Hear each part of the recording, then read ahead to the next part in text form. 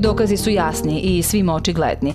Globalno zagrevanje planete štetno utiče na uslove života. U samo poslednjih 100 godina nivo vode na planeti se povećao za otprilike 17 cm. Međutim, u poslednjih deseta godina porast nivoa vode je duplo veći, delom i zbog topljenja ledenih površina. Neosporiv je i porast temperature na globalnom nivou, koji se beleži od 70. godina prošlog veka, a najtoplije godine desile su se u poslednjoj dekadi. Sve to utiče i na vremenske nepogode, koje su sve razornije. Klimatske promene će u narednim godinama i u Srbiji izazvati periode ekstremnih suša i poplava, pokazala je studija Hidrometeorološkog zavoda Srbije. Ove promene, odnosno globalno zagrevanje, utiču na povećanje temperature, što će dovesti do promena u padavinama ne samo u smislu njihove zapremine, već raspodele. Suše i poplave neće biti česte, ali će ti ekstremni periodi dugo trajati. Klimatske promene su globalni problem, ali je sprečavanje njihovog uticaja izazov za svaku državu, pa je neophodno da se one prate i dobro prognoziraju, a uzroci saniraju koliko god je to moguće.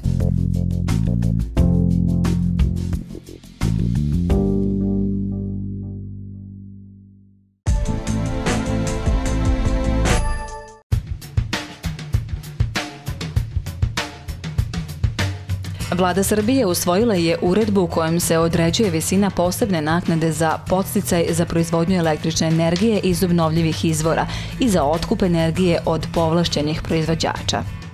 Naplata naknade za otkup struje iz obnovljivih izvora sa računom za struju od marta 2013. godine iznosila je 4,4 pare po kilovat satu. Sada, naknada za podsticaje za proizvodnju struje iz ovih izvora energije u Srbiji je udvostručena i iznosi 8,1 paru po kilovat satu. Naknadu plaćaju svi potrošači i obračunava se prema broju utrošenih kilovat sati.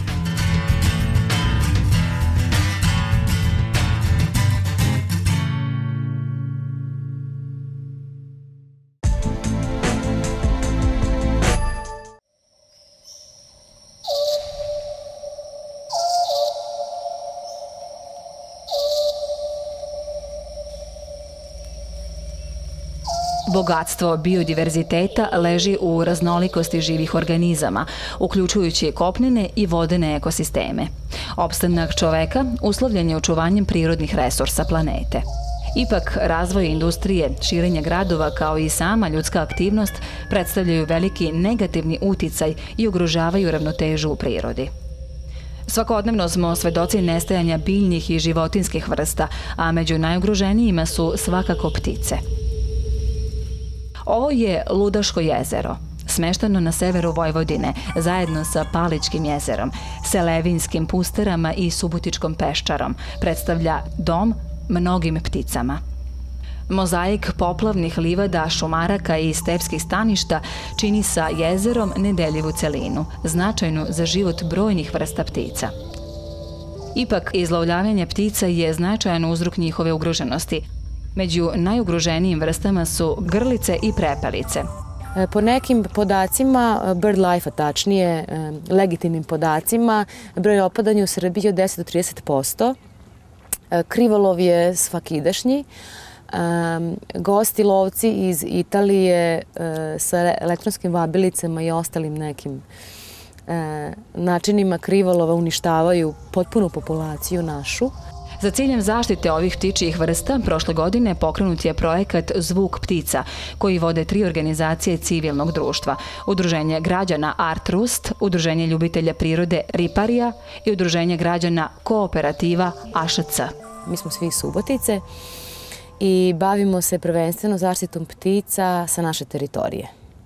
Poznato je da je najveći lov i krivolov na prepelice grlice upravo u Vojvodini i na našim lovištima i zbog toga smo izabrali tu temu kao glavnu temu projekta e, promenu zakona o lovostaju. Tražimo prekid, potpuni lovostaj e, na prepelici grlice u Srbiji.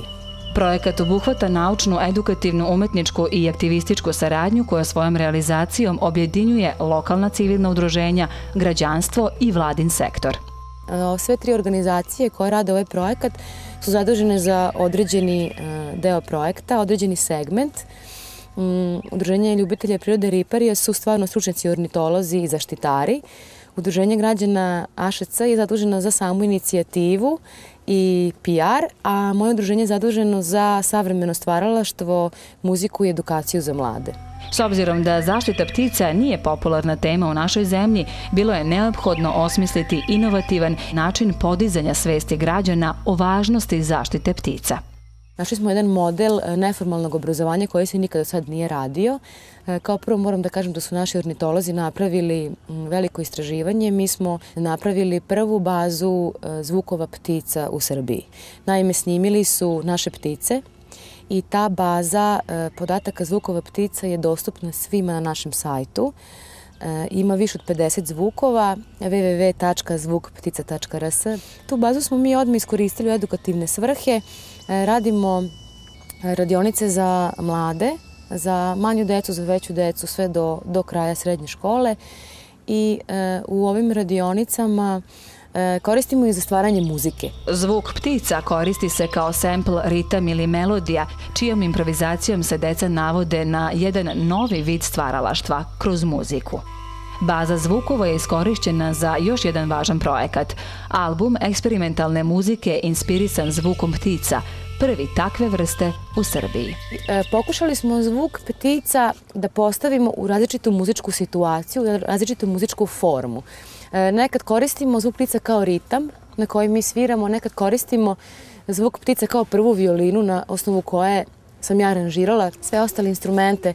Pokušamo da približe, približimo ljudima uopšte pesmu ptica kao nešto što je sastavni deo i našeg sveta i naše muzike.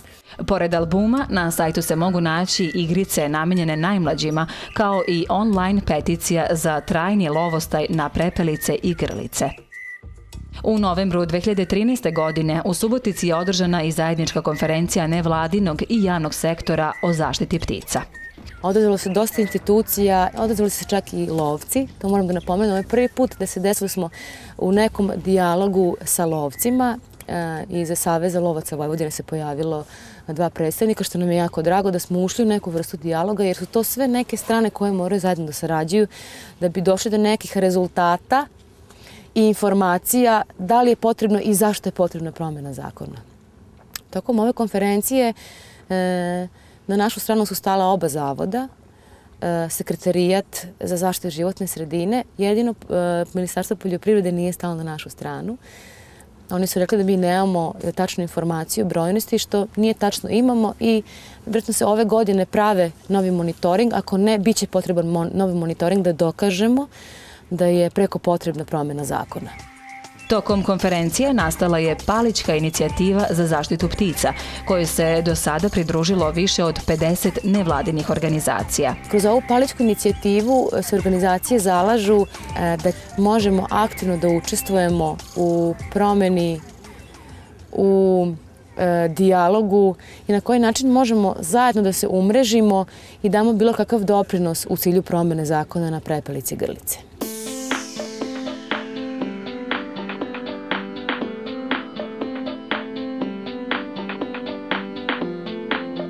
Projekat Zvuk ptica se realizuje uz podršku programa Sense koji sprovodi Regionalni centar za životnu sredinu REK, a finansira ga Švedska agencija za međunarodni razvoj i saradnju SIDA. Za razliku od ranijih programa, Sense je osmišljen na drugačiji način. Pomenuti da je cilj programa utici civilnog društva na proces donošenja odluka. Znači, Ideja je da se više ne fokusiramo na, ne znam, čišćenje rečne obale ili na uređenje određene ulice, već da pokušamo da zajedno sa institucijama napravimo neki možda bolji regulatorni okvir ili da uredimo neku oblast na lokalnom nivou trajno i da to kasnije postane nešto što je održivo.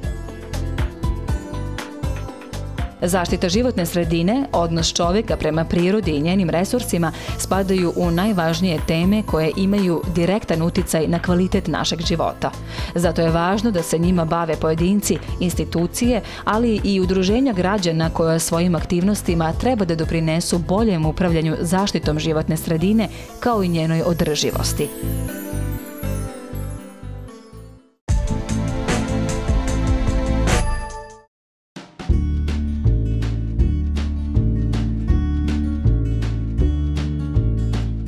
Vojvodini se godišnje proizvede oko milion i po tona otpada, ali se najveći procenat odlaže na deponije bez prethodne obrade. Većina opština ima deponije, ali one nisu u skladu sa tehničkim standardima Europske unije, tako da se može reći da neadekvatno postupanje sa otpadom predstavlja jedan od najvećih ekoloških problema u pokrajini. Nažalost, e, do sada nemamo ni jednu regionalnu deponiju, ni jedan regionalni centar koji funkcioniše po evropskim standardima u skladu sa zakonom i strategijom upravljanja otpadom. Razlozi su brojni, jedan od ključnih je nedostatak finanskih sredstava.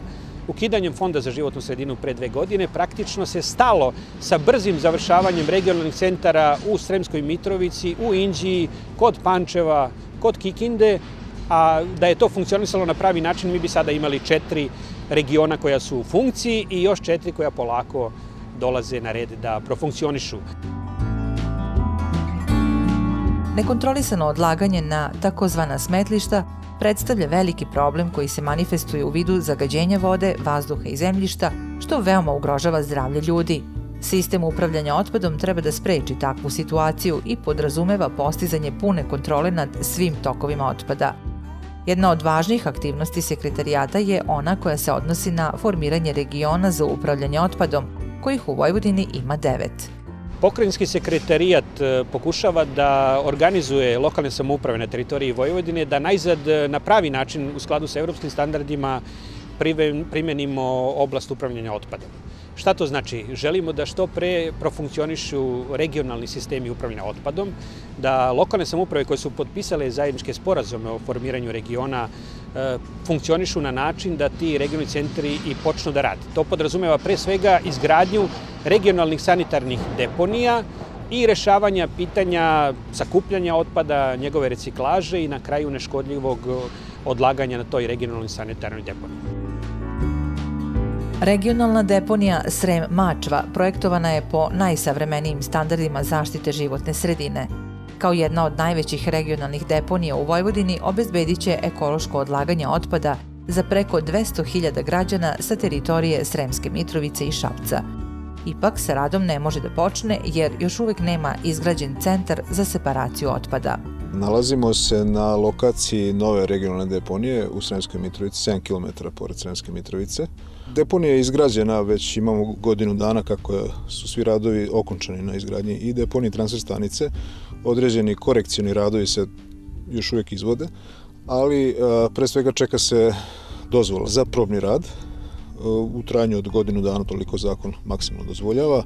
Očekujemo i da ćemo u tih godinu dana imati dovoljno vremena da dokažemo da, da po svim parametrima ova deponija može da, da dobije na kraju i upotrebnu dozvolu.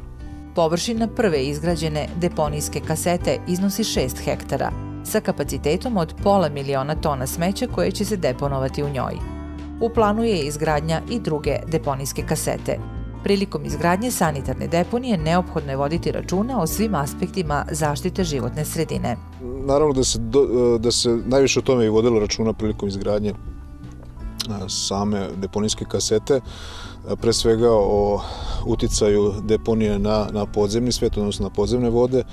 Tu su urađeni potrebni slojevi zaštite podzemnog diverziteta, takođe i uticaj gledalo se na uticaj same deponije na površinske vode, takođe i, i ostalim aspektima koji se odnose na zaštitu životne sredine, pre svega vezano za izdvajanje biogasa koga ćemo imati u narednom periodu i njegovu eksploataciju, odnosno korišćenje tog biogasa. Tako da u svakom slučaju po najvišim svetskim i evropskim standardima je urađena sama deponija, zato je i zovemo sanitarna deponija. Procedne vode iz deponijske kasete tretiraće se putem taložne aeracione lagune, to jest sistemom za preradu procednih voda. Na ovoj deponiji planira se izgradnja kompostilišta, postrojenja koje u zapadnoevropskim zemljama predstavlja uobičajeni način tretiranja biootpada. To je nešto što ne postoji za sada u Srbiji.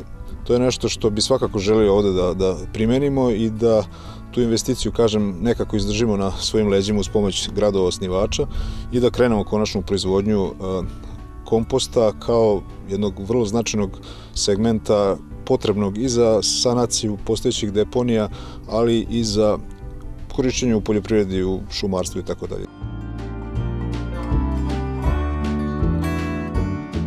Još jedna od sanitarnih deponija koja bi mogla uskoro da počne sa radom jeste regionalna deponija u Inđiji. Ova deponija kapaciteta 100.000 tona godišnje površine oko 27 hektara trebalo bi da služi građanima Inđije, Stare Pazove, Rume, Iriga, Šida, Sremskih Karlovaca i Pećinaca. Telo deponije je već napravljeno, prostor je uređen, pristupni putevi izrađeni. Šta je problem da profunkcioniše taj e, regionalni centar? Pa opet nedostatak e, sredstava, odnosno finalizacija započetih poslova preko ugovora koji je bio potpisan sa Fondom za životnu sredinu, a to je izgradnja odgovarajućih e, objekata, zatim odvodnog kanala za ocedne vode sa tog tela deponije i formiranje centra za separaciju otpada. E, to nisu veliki novci u odnosu na ono što je do sada uloženo. Uloženo je oko 6 miliona evra. Mislim da ćemo uspeti to da premostimo i da će e, regionalna deponija u Inđiji početi uskoro da funkcioniše. Planirano je da izgradnja deponije bude realizovana u šest faza. Već izgrađene dve kasete obezbedile su prostor za deponovanje čvrstog komunalnog otpada za period od pet i po godina. One imaju kompletnu izolaciju, biotrnove i sabirne bunare. Ove dve kasete koje su površine 4 hektara su urađene na sledeći način. One su uh, kopane uh, nekih 5,5 metara. Uh, onda je stavljena glina, stavljen geotekstil, folija, pa opet geotekstil. Nakon toga je, je urađena drenaža samog terena gde se skupljaju procedne vode, ocedne vode i nakon toga je stavljen ovaj šljunak.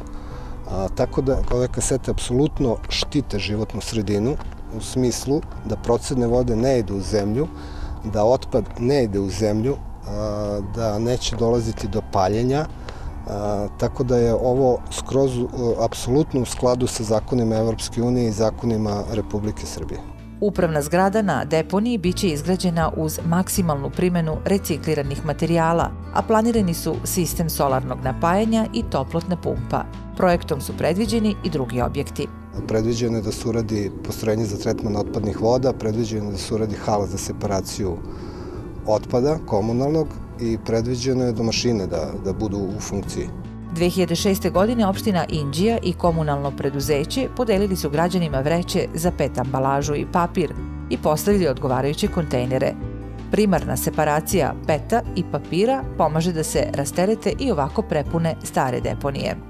Važno je da napomenemo da su sva, sve deponije ili gradska smetlišta u ovom regionu gotovo pune i da prosto ako se ne završi ova deponija u najskorije vreme, oni neće imati više gde da odlažu svoj otpad. Sve te deponije su neuslovne, a znamo takođe ako već hoćemo da uđemo u Evropsku uniju, naravno da hoćemo, onda jedan od uslova jeste da imamo i uređene e, regionalne deponije za komunalni otpad.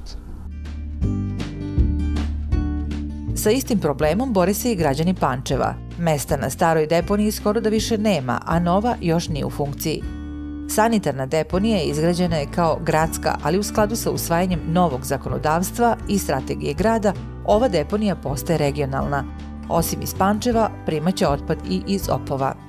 Ono što je problem, deponija koja je skoro, da kažem, završena, čak ima i upotrebnu dozvolu Eh, iz 2009. Eh, godine izdenta od lokalnih organa, sada se nalazi praktično u problemu jer nikad nije zaživelo odlaganje otpada na njoj zbog nekih, da kažem, pre svega tehničkih problema, nije u funkciji sistem za prečišćavanje procednih voda i od krupnijih, da kažem, stavki nemamo kompaktor kao, da kažem, važan sastavni deo opreme za pravilno, da kažem, sabijanje i slaganje da, odloženog otpada. Uz dodatna ulaganja od strane SIDE, Švedske razvojne agencije, nova deponija trebalo bi da postane operativna do kraja 2014. godine, kada će otpad početi da se odlaže na nju. Sadržaj koji, da kažem, u perspektivi treba još da se obezbede za deponiju su unapređen sistem za prečišćavanje procednih voda, rešenje problematike odlaganja, odnosno tretmana biorazgradivog otpada i pre svega znači izdvajanje tih materijala koji su obnovljivi, da kažem, resursi i eventualno da kažem, iskorišćenje energije od deponijskog gasa. Jedan od velikih problema je kako razvijati i finalizovati centar za upravljanje otpadom grada Novog Sada, prema kojem gravitira još šest lokalnih samouprava. U ovom području pola miliona stanovnika produkuje čak 200.000 tona otpada godišnje. Iako postoji nekoliko potencijalnih lokacija za formiranje buduće regionalne deponije, nijedna apsolutno ne zadovoljava ekološke, socijalne i ekonomske kriterijume. Za sada postoji intencija lokalnih vlasti, pre svega grada Novog Sada, da se taj regionalni centar razvija u blizini neposrednoj sadašnje neuslovne deponije, da se ta sadašnja deponija očisti, da se to smeće skloni, da se znači, ono što može se iskoristi kao novi energent ili sirovina za proizvodnju, a da se pored te lokacije naprave kasete za buduće neškodljivo odlaganje otpada, s tim naravno da se to, ako se takva opcija prihvati, mora raditi u skladu sa zakonom i ne sme se ni jedan zakon narušiti, niti ugroziti životna sredina i zdravlje stanovništva na tom prostoru. Rešenje leži u međusobnom dogovoru lokalnih samouprava i njihovom udruživanju na pokrivanju troškova transporta otpada iz najudaljenijih opština. Izabranu lokaciju potrebno je urediti tako da se spreči zagađenje životne sredine, vode, vazduha i zemljišta. Takođe ne treba zaboraviti da otpad nije smeće, nego resurs. Činjenica da se u Srbiji i dalje više od 80% otpada odlaže na smetlišta i neuslovne deponije samo znači da umesto da profitira, naša zemlja godišnje gubi ogromna finansijska sredstva.